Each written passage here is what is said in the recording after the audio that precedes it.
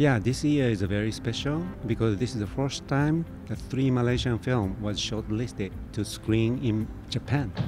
We always, you know, encourage a local filmmaker to submit their film for the Japanese competition because once selected for the Grand Prix winner, there's a chance to submit for the Oscar, that means the Academy Awards.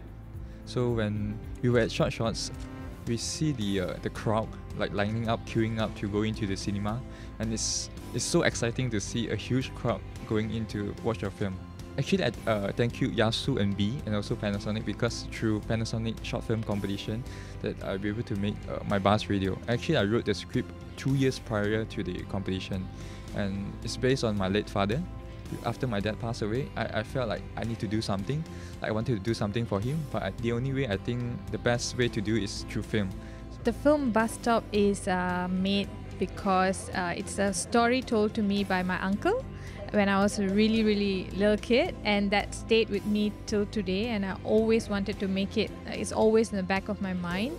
It's about a boy who boards a bus, a public bus, on midnight, and he thinks that it's a haunted bus, but actually it's not.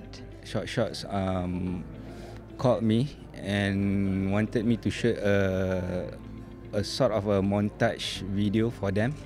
So they choose uh, three directors, one um, from US, one from Israel, and one from here, which is me. So we went there, I think bulan 5 tahun lepas, shoot um, shoot for them. Then it was screened during the festival and it was great. Saya dah produce short shot selama tujuh tahun and uh, setiap tahun kita dapat statistik dari Jepun like berapa filem Malaysia short film yang telah dihantar uh, untuk submission dan berapa filem yang terpilih. Saya sangat sangat sangat uh, teruja sebab tahun lepas tiga filem terpilih daripada 48 short-short Japan ialah gateway kepada Oscar. Yang boleh garantikan ialah pembikin filem itu sendiri um, luangkan sebanyak mana masa yang perlu untuk buat persediaan.